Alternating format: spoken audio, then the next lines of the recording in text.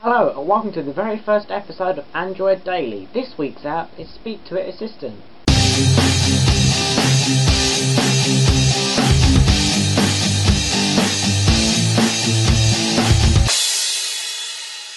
This app is free in the Android market and basically it's Siri but for Android.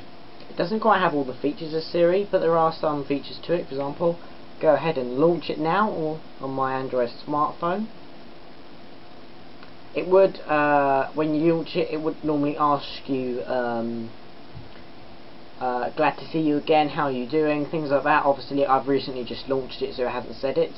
Uh, but to talk to it I simply uh, tap it speak. Hello how are you? Hopefully it said that alright yep. Wonderful as always. Thanks for asking. Uh, for example, I can ask other things like, what's the weather like today? What's the weather like today? Hopefully it said that. I'm searching for you now. It shouldn't take long. The current weather for Thurrock is mist, 48 degrees F, 9 degrees C. As you can obviously tell, there's a bit more work to be done, such as, you know, 48F, uh, 9C. It doesn't, it's not really make sense. Um, but it's a start. It's a start. So far, this is the best Siri alternative I've found uh, on Android. Uh, I can also ask it. I can also add things to uh, my to-do list. For example, I can go. I need to email my friends. Okay, what would you like me to write in your email? Have a meeting at four o'clock. This is the email we're about to send. Have a meeting at 4 o'clock. Now just enter the recipient and hit send.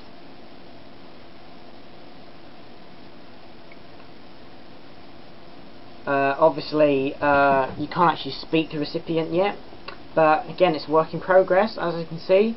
Have a meeting at 4 o'clock, it come up with everything, all I need to do is just send it. Um, so I can uh, uh, tell my friend something like, um, hang on, let me just check, double check the phrase for you here. I've got the page up on the Android Market. Tell my friends I'm recording a video. Hopefully that came out alright. You will have to log into your Facebook account before we can do that. It, for some reason though, it takes you to the, the mobile version or in the internet browser of Facebook. Doesn't actually take you to the Facebook app so maybe they need to do some work there of detecting whether you've got a Facebook app on your Android phone. Uh, most phones come with it anyway. Um, so it will go on to Facebook until I don't know if you can actually define which client it uses I don't think yet but again it's a work in progress. I can ask it things like um,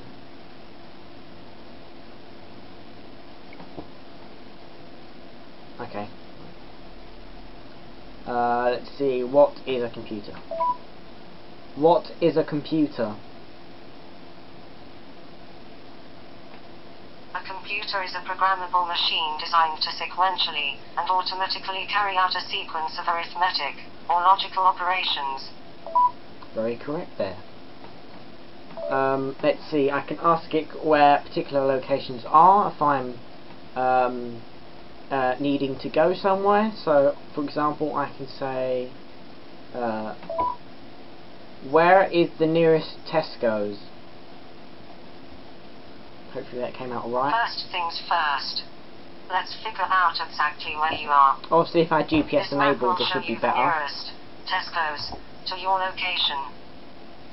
If I had GPS enabled, it would be a lot accurate, but I haven't got GPS on at the moment, so it's just using the Wi-Fi. Uh, takes a little while to load though, Google Maps inside of this app, but it works. It's a good start. As you can see, I'm not sure if you can see that on the camera, but it definitely did say this map will show you the nearest Tesco's to your location. So it definitely picked up my voice right. Oh, it's gone off there.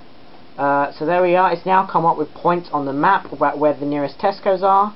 Obviously, I know where the nearest Tesco's are. It's literally a five-minute walk up the road from where I am. Um, but yeah, that's the best Siri alternative I found on Android so far. It is called Speak to Assistant. Uh, relative links below. Enjoy the rest of your day. Thanks for liking this video. Rate and subscribe.